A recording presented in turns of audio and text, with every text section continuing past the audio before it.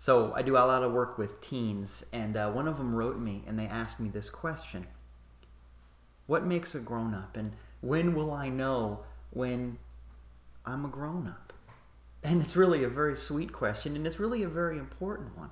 And it's important when you're a teen, but it's also something that stays with you. I mean, you and I both know people who are way older than 18 who have not mastered adulthood who haven't gotten to that grown up stage yet. And by the same token, we know people who are younger than that, who have a lot going on in the maturity department.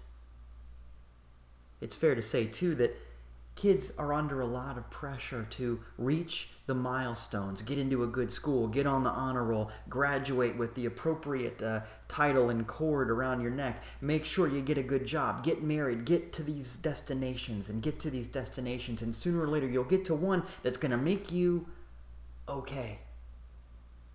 But I got to tell you, as someone who's reached a lot of destinations, all I ever find when I get to one is another one. Part of being an adult is being okay with that and getting out of uh, what I call destination mentality.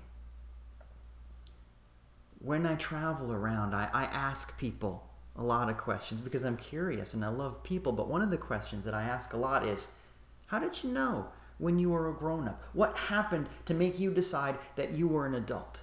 And different people have different answers. I mean, society doesn't do a great job at saying, boom, here it is, you're done. So different people have different details. Uh, for some people, it's when they got married or when they graduated. For some people, it's when they paid their first mortgage payment. Different people have different details, but I find that the essence is always the same, no matter what the particulars are over and over again, the thing that people tell me is that they knew they were an adult when they were called upon to give. Isn't that interesting? You're an adult when you're called upon to give your attention, your time, your validation, your money. Sure, that too. You are called upon to give something, and that's part of what makes you an adult. I mean, think about it. When you're little, someone else tells you what's right and what's wrong, how to behave, what has meaning. When you are a child, meaning is given to you. But as you become an adult, you start to give meaning back. You start to help define what is meaningful, what is appropriate, what is good as you begin to take charge of what's right and wrong in your own life and begin to act not because of what other people tell you or from some kind of pressure outside of yourself, but rather what's in your heart to give, you start to grow. You're an adult when you give meaning back. And I want you to know that right now, there is someone in your life who would love to hear you tell them that they're okay, just as they are right now. This is a very grown up thing to do. But I want to make sure you know, too, that the process of learning never ends. Like I said, let's get out of that idea that destinations are important. Somewhere along the line, somebody decided that being an adult meant you had to be jaded, that you'd seen it all, that you were done, that you just handled everything and nobody ever helped you.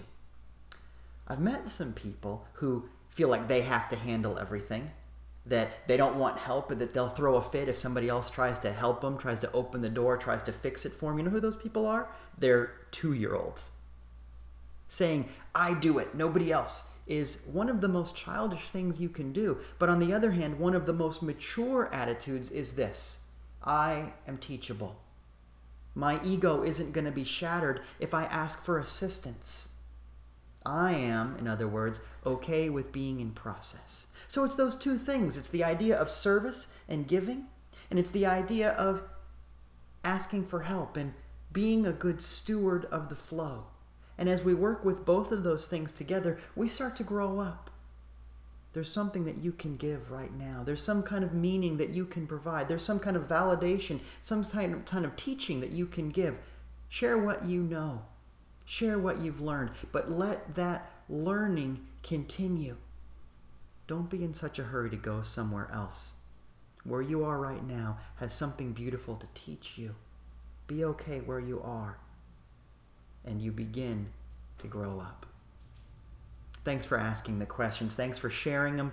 Thanks for everything that you're doing. Thank you for subscribing to these movies. Keep up the good work and keep taking care of each other.